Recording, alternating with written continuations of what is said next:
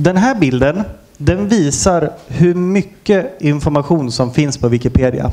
Och här har vi tagit bort alla bilder. Här är bara texten.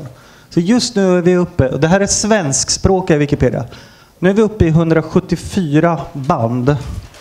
Och de här banden de ser ut som Nationalencyklopedins band. Eh, eller rättare sagt som Encyclopedia Britannica som är ännu lite, lite större. Så. Men vi är uppe i 174 000 och det beror på att vi nästan är uppe i en miljon artiklar. Vi kommer att nå eh, en miljon artiklar här om bara någon månad eller någonting sånt där.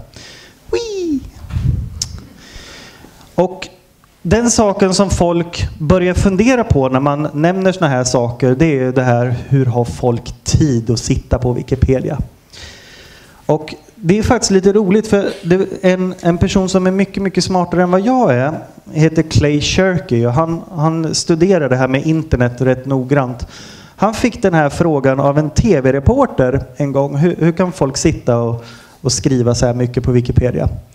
Och han tyckte det var lite ironiskt eftersom det var just en tv-reporter med tanke på hur mycket tid vi ägnar åt tv. Och han gjorde en uträkning och tog då det här var för några år sedan. Han tog alla redigeringar som har gjorts på alla språkversioner av Wikipedia någonsin, från första början. Och så räknade han ut hur mycket tid det skulle ta om man, om man satt eh, vanliga, vanliga liksom på, på ett kontor och gjorde det här. Och kom fram till att det ursäkta mig, motsvarar ungefär 100 miljoner arbetstimmar. Och det jämför han då med 200 miljarder timmar som amerikaner, enbart amerikaner, ägnar åt tv varje år. Tack så mycket. Mm, bubbligt. Eh, och, och då kan man börja fundera på vilket är mest värt att syssla med och sådana där saker. jag lägger mig inte i den saken, men jag, jag tycker det är rätt intressant att man att man kommer dit här någonstans. Det här, ska vi hålla på med det här? Liksom?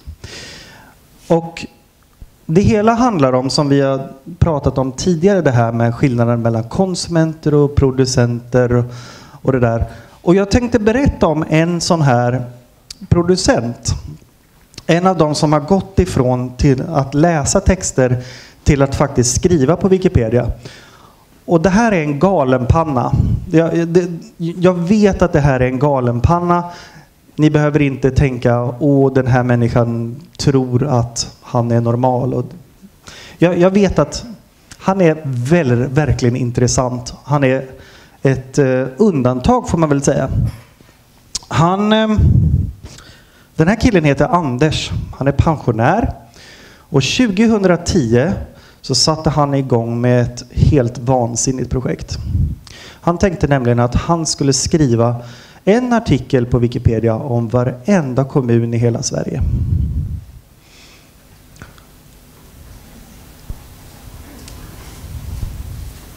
Tretusen nej förlåt, 2400 eh, kommuner ungefär.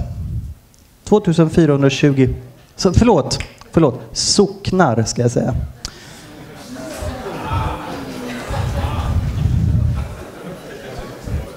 Tala om att förstöra en historia. Ja, 2420 socknar skrev han om. Och det här tog flera år. Han satt sju timmar om dagen och han använde någonstans upp till 20 källor per artikel och satt och skrev på det här. Det är ett helt galet projekt. Vem, vem sysslar med någonting sånt? Och anledningen till att jag tar upp det här på en konferens som handlar om kulturarv och minnesinstitutioner och sådär är att han har använt många av de källor som ni har lagt ut på webben eller som ni har presenterat i böcker eller så. Det är vi verkligen tacksamma för att ni har gjort. Det behövs mer, men vi är väldigt tacksamma för det som ni redan har gjort. Han slutade inte där dock. Han satte igång att skriva 3500 artiklar om, om svenska församlingar också. Så nu finns det ingen bättre källa om socknar på svenska än svenskspråkiga Wikipedia. Och jag tror inte att det finns någon bättre källa om församlingar än svenskspråkiga Wikipedia. Jag uppmanar er verkligen att gå in och kika på de här. Det, jag tänkte bara ta ett kort exempel. Det här är en sån artikel som han har skrivit. Nu ska vi se, vi ska ta bort den. Så. Det här är ett exempel på en sån artikel som han har skrivit under det här projektet. Då. Han har lyckats få till ja, kläder och sorunda tårtan och stensättningar. Den där bilden finns där, det är bara att internetuppkopplingen inte är helt hundra här inne. Men han, han höll på med det där i flera år och nu är han klar. Och nu kommer ett lagförslag så att 2016 så övergår vi till att använda distrikt. Och distrikten kommer att motsvara ungefär socknarna nu. Så att nu är frågan hur mycket av arbete som går att återanvända. Men det är en väldigt intressant diskussion. Och anledningen till att jag förvarnade er och sa att det här är en galen panna, för den, den här typen av människor, det finns det gott om på Wikipedia. Det finns de här typerna som sitter och, och gillar att hålla på med såna här detaljer, så, sånt där som ni också håller på med. Vi är ganska lika på det sättet. Och jag tänkte att det kan vara bra att samarbeta. Men om vi ska kunna samarbeta så finns det ett par saker ni behöver känna till om er så här, på första dejten. Så att säga. Och en av de sakerna som ni behöver känna till om oss och det är man säger lite slarvigt ibland att Wikipedia är ett uppslagsverk. Och det stämmer inte riktigt, för Wikipedia är inte ett uppslagsverk. Wikipedia är massor med uppslagsverk. Och jag kan lyfta fram tre stycken bra exempel på eh, områden som om man skulle särtrycka dem som egna uppslagsverk så skulle det vara fantastiskt. Jag har redan berättat om socknarna. Eh, de artiklar som finns om Stockholm är fantastiska. Vi har någonting på Wikipedia som kallas för utmärkta artiklar. Och det är sådana artiklar som är långa, de är fylliga, de har bilder, de har källhänvisningar. Det är folk som har stött och blött det här och det har diskuterats och sådär. Och de flesta artiklar som handlar om orter som är utvalda artiklar, det handlar om Stockholm. Och det kan man kanske tänka sig att det skulle vara statistiskt sådär, ja, jo, men Stockholm är den största staden och sådär. Men vi har folk som sitter medvetet och gör de här artiklarna. Så det finns utmärkta artiklar om neonskyltar i Stockholm och stoppljus i Stockholm. Och såna, så, den typen av artiklar har utmärkta artiklar. Det är alltså 40 000 tecken med källhänvisningar och bilder och grejer. Offentliga toaletter i Stockholm har en egen artikel som är utmärkt. Det här är ett sånt område alltså som är, som är mycket, mycket bra. Om man tryckte enbart de artiklarna i en egen bok så skulle det vara helt fantastiskt. Ett tredje ämne som jag vill ta upp är fåglar. Just svenskspråkiga Wikipedia är fantastiska när det gäller fåglar. Det kan ni jämföra med vilket uppslagsverk som helst. Det finns ingen som slår oss på, på, på fingrarna där. Och det har nog att göra med att det här, överlappar. Om vi tittar på de som skriver på Wikipedia och de som är ornitologer. Det överlappar ganska kraftigt i, i de, det vändiagrammet, så att säga. Å andra sidan finns det många områden där vi fortfarande inte har kommit upp i en acceptabel nivå. Och därför så blir alltid frågan, går det att lita på Wikipedia? Den blir ointressant för att Wikipedia i sig är så många olika saker. Störs ni av alla de här p-ljuden? Så. Och jag, jag, viker bort den en liten bit. Hör ni fortfarande? Ja, okej. Okay. Är det intressant att lyssna på? Annars så kan, kan jag vika undan den ännu mer. Så.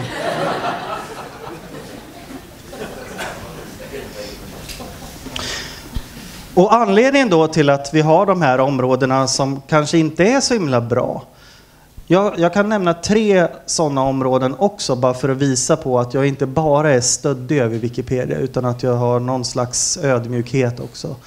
Det första ämnet är litteratur. Det är jag själv väldigt intresserad av.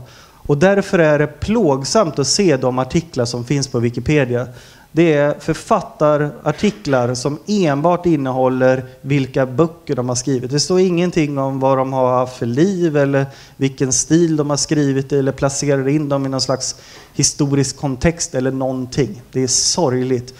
Bibliotekarier, där har ni ett uppdrag. Det andra området som jag tänkte ta upp är mode. Och det här har troligen att göra med att de flesta som skriver på Wikipedia är män. Nio av tio som skriver på Wikipedia är män. Det här vill vi naturligtvis göra saker åt så att vi har eh, samarbete bland annat med Europeana som har varit här och pratat tidigare och med Nordiska museet bland annat. Eh, för att få folk att skriva om, om mode eftersom det är en rätt häftig kulturhistorisk grej. Man kan läsa ganska mycket om världen bara genom att titta på mode. Ett tredje område som vi är ganska dåligt täckta på när det gäller det är företag. Och anledningen till det är att det är väldigt komplicerat att skriva om företag. Det är väldigt, som vi har diskuterat här tidigare med sociala medier och så, det är väldigt svårt att vara neutral och skriva om företag samtidigt. Och på Wikipedia är det här ett av de stora tabuämnena nästan. Men just nu så är det faktiskt så, här har ni en möjlighet. Fram till den 20 maj så kan ni skriva artiklar om svenska företag eller svenska entreprenörer och vara med och vinna Svenska Publishingpriset. Så det är, det är ett tips. Kom fram till mig efteråt om ni vill ha mer detaljer om det där. Men det, det kan vara en, en, eh, en, sak att hålla i tanke. Va? Att de, här, de här tre bra områdena och de här tre dåliga är naturligtvis bara exempel. Men det finns många, man kan dela in Wikipedia i många fler områden. Och anledningen till att det är så här segregerat är att vi är inte så himla många användare. Man tänker, jag nämnde förut det här med en miljon artiklar. Och då kanske det förvånar er att det på svenskspråkiga Wikipedia är någonstans runt tusen som är regelbundet aktiva. Och vi skulle behöva bli många fler. Och det är därför som vi är ute och raggar folk så här på, på konferenser och, och ha samarbete med folk. Och jag tänkte berätta lite grann om några sådana här samarbeten som vi har haft. Henrik Summanen som de flesta av frågorna här tillsammans med Kristina och någon mer. Eh, Henrik kommer från Riksantikvarieämbetet och de gjorde någonting storslaget förra hösten. De hade nämligen vad, som, vad vi kallar en Wikipedian in residence. Det är en gäst-wikipedian som kommer och hjälper till och guidar personalen i hur man gör eh, när man skriver på Wikipedia. Man, man, kan ställa alla de här frågorna som är lite jobbiga att ställa i så här helgrupp så kan man ta det i en lite mindre grupp och så sitter man och redigerar och sådär. Det är verkligen mysigt och, och trevlig, trevligt och man kommer igång att redigera vilket faktiskt är väl den, den stora, stora poängen. Sen har vi det här, en annan, sak, en annan sorts samarbete, det är det som Karin Nilsson berättade om här förut eh, med Livrustkammaren. Är Karin kvar här eller? Jag har inte sett henne. Hon har nog försvunnit kanske. Hon gjorde så jättefin reklam för, för oss så jag tänkte återgälda tjänsten. De har fantastiska grejer på sociala medier, Livrustkammaren. Om ni inte är vänner med dem på Facebook så gör ni ett misstag för de anammar många av de här återkommande bilderna, de så kallade memen. Och så använder de dem och ändrar så att Livrustkammaren hamnar in där. Det är jätteroligt. Eh, Livrustkammaren de har laddat upp bilder och det här är någonting som många av er säkert funderar över. Hur gör man när man ska ladda upp, inte en bild utan kanske 10 000 bilder eller som i Livrustkammarens fall, då 40 000 bilder. Då, då kan man inte sitta och, och knappa in eh, uppgifterna gång på gång utan man får göra det maskinellt. Och då har vi sådana här människor som André som eh, som sitter i hackatonet och utvecklar, som jobbar med det här. Eh, och en av, ehm, en av de sakerna som man inte tror är att det, det tar lite tid. Det, det, är lite krångligt för att vi måste få ihop våra system med era. Men det finns, om man kommer fram här så finns det ett par broschyrer om hur Wikimedia Commons fungerar. Commons är Wikipedias bilddatabas kan man säga. Den, används, den kan användas av alla. Um, men Wikipedia använder den och det är så de flesta dyker på de här bilderna. Och det finns broschyrer här framme som man får komma fram efteråt och så kan man prata med mig om hur man gör när man laddar upp saker. Men det är många som har frågor om det här så ni får jättegärna ställa dem sen om en liten stund när jag ska lämna, lämna tid för frågestund. Eh, kurser har jag redan nämnt eh, och sådär. Om vi nu bara är tusen personer, hur kan det då komma sig att vi har skrivit nästan en miljon artiklar på 11 år? Det är ganska snabbt jobbat. Och ett av de tricken som vi har, det är att vi använder så kallade robotar, eller automatiserade program. Och då använder vi databaser från bland annat Riksantikvarieämbetet och flera andra eller artdatabaser och så bygger vi upp artiklar automatiskt och sen skriver vi in dem. Då. Så de, några av de här är lite småmaskinella men de är bra artiklar. De har många källor och de eh, har bilder och man får ett hum om det här plus att vi blir mycket mer heltäckande. Och det här är ett intressant experiment som vi har gjort nu under, under en period. Så det kan jag rekommendera att, att om ni har en datakälla och, så kan vi hjälpa till att omformulera det här till, till um, Wikipedia-artiklar. Det är ett bra sätt att hjälpa folk att hitta till er.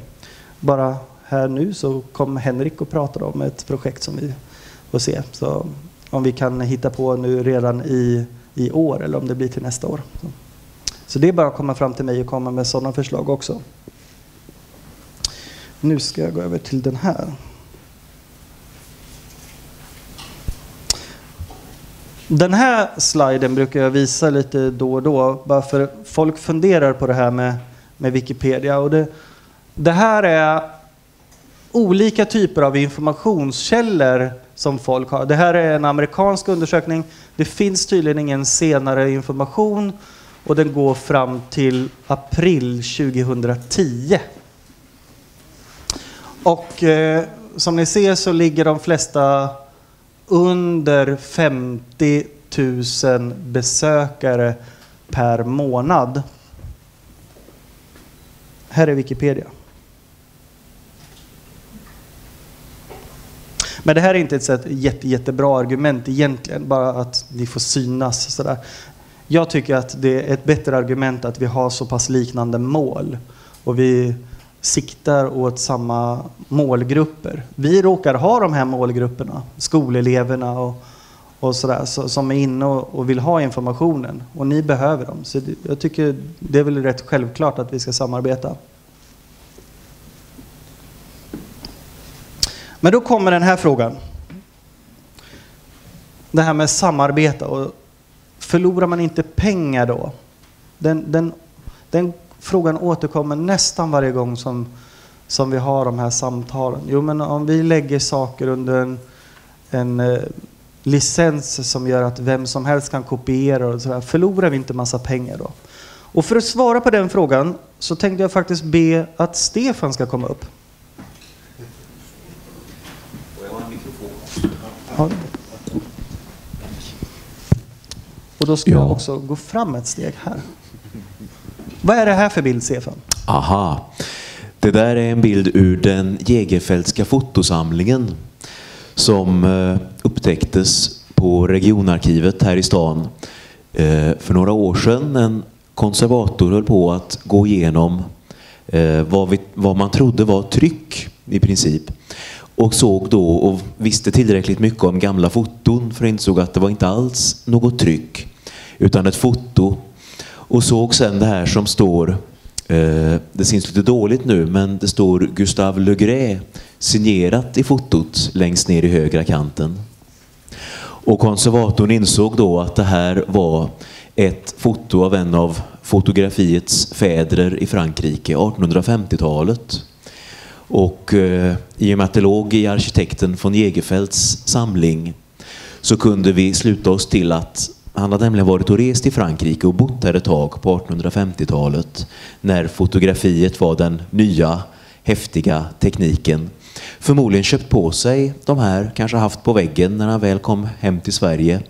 Och sedan efter hans död så har det legat ihop med hans ritningsmaterial till slut kommit in till regionarkivet och eh, upptäckts till slut av konservatorn.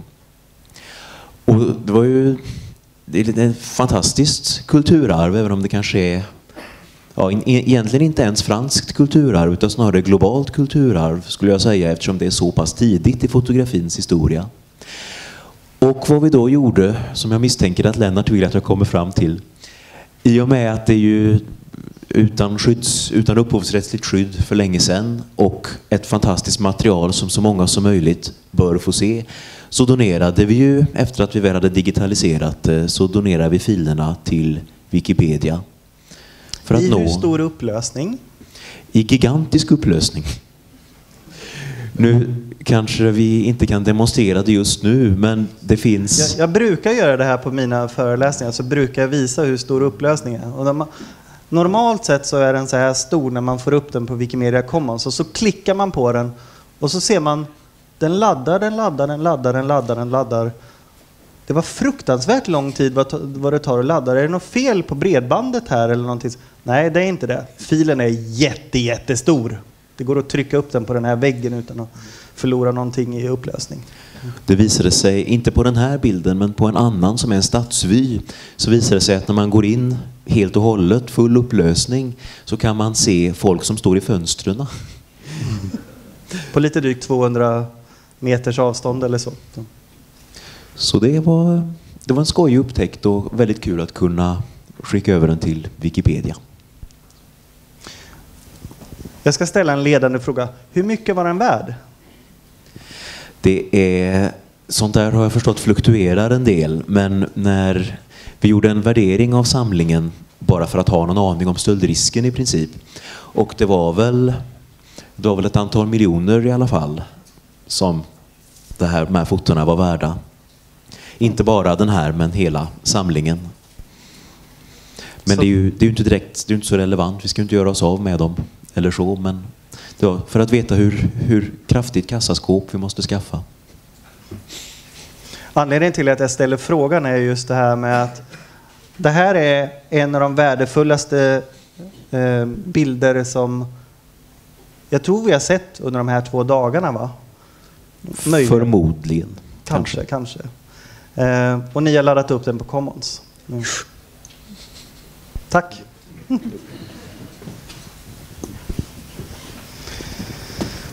Jag ska också säga det här att eh, på den förra bilden här. Vem har tagit den här bilden? Det är NASA som har tagit den här bilden. Och anledningen till att jag vet det är att nästan alla bilder som ni känner igen från rymden är tagna av NASA. Och anledningen till att ni känner till dem är att de är publicerade. Och anledningen till att de är publicerade är att de är i public domain. För det är allting som amerikanska federala staten gör. I stort sett. Men nästan allting är, hamnar automatiskt i public domain. Vilket gör att det är väldigt lätt att återanvända det här. ESA och japanska rymdstyrelsen och sådär, de tar också massor med bilder men det är ett helsike att få tag på dem. De är, de är copyrightskyddade allihopa. Till och med tidningar har svårt att få tag på, på Europeiska rymdstyrelsens bilder. De förlorar inga pengar på det här utan blir snarare, ja men rymden det är ju NASAs domäner så att säga. Det kan vara någonting att tänka på också att om man har den här ensamrätten eller om man, om man kan vara tidig med att sprida ut information om någonting så kan man få en ganska stor effekt på det hela. Nu tror inte jag att, det skulle förlora, eh, att de skulle förlora särskilt mycket på det om ESA skulle släppa sitt material också. För folk har ändå, eh, alltså folk litar ändå på NASA på något sätt. Då kommer vi in på det här. För ett år sedan så började jag och några andra, på, faktiskt på Mattias Klangs initiativ, att samla ihop en, ett antal råd för arkiv, bibliotek och museer. Vi tänkte att det är inte så många som har samlat ihop det för allihopa utan man, man sköter sitt jobb på, på, sin organisation och så här fungerar vi. Vi ville ha en konferenser och diskutera hur ska man göra? Hur ska man sysselsätta sig? Hur ska man lösa alla de här problemen som alla har med upphovsrätten och sådär. Så vi gjorde den här förra året. Och nu råkar vi i Wikimedia Sverige ha en systerorganisation i, i Tyskland. Så de översatte den och gjorde den till en imponerande bunt med information och sådär. Och massor med snygga argument och snygga bilder kanske framför allt. Och eftersom båda de här är under fri licens så är det helt okej okay att översätta fram och tillbaka. Så vi översatte den tillbaka till svenska. Och nu finns den i den här eh, kassen som ni har fått eh, i en svensk version. Och den har också två grejer som, som den tyska versionen inte har. På sidan 18 till 21 så finns det två stycken flödesdiagram. Kajsa har redan visat upp det om digitalisering.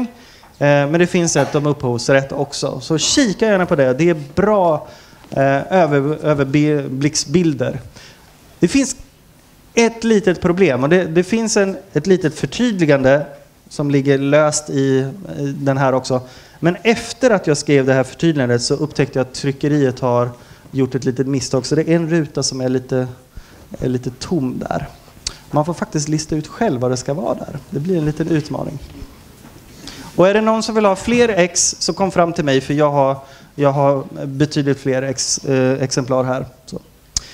Men den här konferensen skulle inte vara slut på ett bra sätt om vi inte hade en väg framåt. Och det här är de två sakerna som vi vill tipsa er om. Det första är att sätta igång. Gör ett test och se hur det funkar. Det behöver inte vara så himla allvarligt eller så himla stort eller så himla svårt. Ta någonting som är enkelt. Ta någonting som ni själva har gjort. Ladda upp det på Wikimedia Commons eller Flickr eller någon annanstans och se vad som händer. Och så får ni väl klaga på mig om jorden går under. Så. Den andra saken är att inom kort så kommer vi att starta ett nytt nätverk som heter Tillgång. Och dit kommer man på adressen tillgång.se eller tillgang.se. Den, sajten är inte riktigt uppe än av administrativa skäl. Men om några veckor så kommer vi att skicka ut mail om det här och då får ni jättegärna gå med i den mailinglistan. Och där är det tänkt att man ska kunna ställa frågor till varandra och utbyta erfarenheter så att det här inte dör ut utan så att vi fortsätter att hålla den här diskussionen levande. Så gå gärna med det. Och därmed eh, vill jag tacka för mig. Om inte någon har några frågor.